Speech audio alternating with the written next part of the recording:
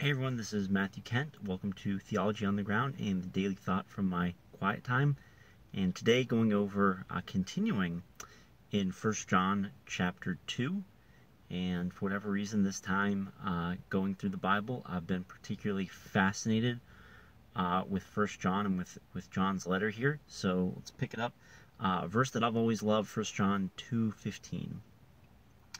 Do not love the world or the things in the world. If anyone loves the world, the love of the Father is not in him. For all that is in the world, the desires of the flesh and the desires of the eyes, and pride and possessions, is not from the Father, but is from the world. And the world is passing away along with its desires, but whoever does the will of God will live, or whoever does the will of God abides forever.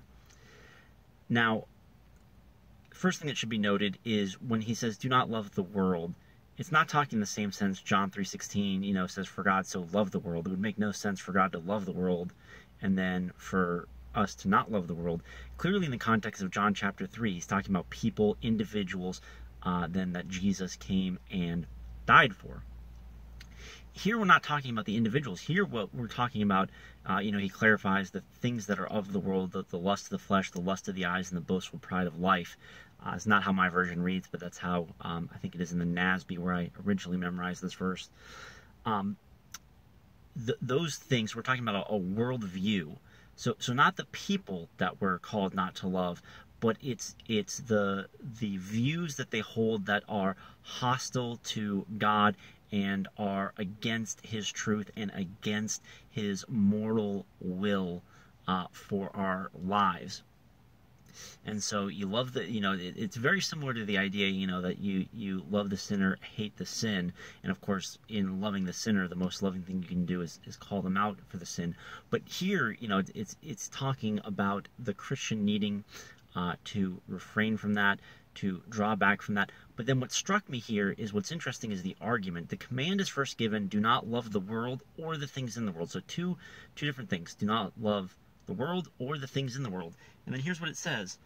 Um, For all that is in the world, so now we're talking about the things of the world, not the world, uh, which is one of the two things he identified.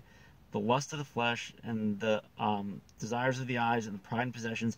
Uh, is not from the Father, but is from the world. Now, before, if you just take out the phrase from the Father, it, it just kind of ends up being this circular argument. Uh, do not love the world or the things in the world. And the reason is because the things in the world are from the world. Well, of course. Uh, but where it becomes an argument is because it's not from the Father. So, in other words, you know, in God there is truth and beauty and goodness and love and wisdom and patience and gentleness and self control uh, and all of these wonderful things and creativity and um, just, I mean, it's it's wonderful who God is and what He is like.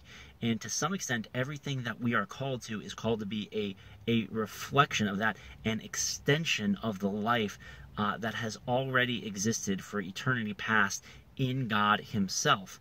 And so I've, I've heard it put best. There was a, a mentor I had one time who says that um, when we do good, all that we're doing is is basically making Mexican food. So if you think about Mexican food, you have the same few, you know, meat and cheese and rice and beans and, and tortillas and that kind of thing. Same few ingredients, and you know, you, you, you package it one way and it's called a burrito. You package it a different way, it's called an enchilada. Um, no offense to, to the, that Tex-Mex style. I guess it's not even really Mexican food. It's Southwest, you whatever it is. Um, it's all the same. And uh, it's similar to like that when we do good works. In one sense, we're, we're creative and we're bringing something new into the world and doing something new and good, whether we're Christian or non Christian. Uh, both can do things that are, in a certain sense, pleasing to God. Um, but we're really just taking the, the raw ingredients that God has given us and rearranging it you know, eight different ways. And so things that are good are derivative from God, come from God, and things that are not good that we need to avoid are things that are contrary to God, do not come from God, but rather come from a worldview or a system uh, of belief that is, is hostile to God.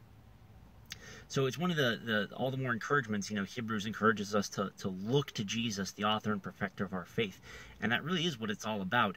Um, as Christians with a conscience, we have a certain good idea anyway of what right and wrong is, but the bottom line, the punchline, the rub is that we've got to constantly be looking to Jesus, looking to God Himself uh, to see what we are supposed to be like. Really dense, deep set of verses here. Uh, I was really happy to talk about them with you guys today. Thank you so much for watching. Lord willing, I'll see you guys again tomorrow.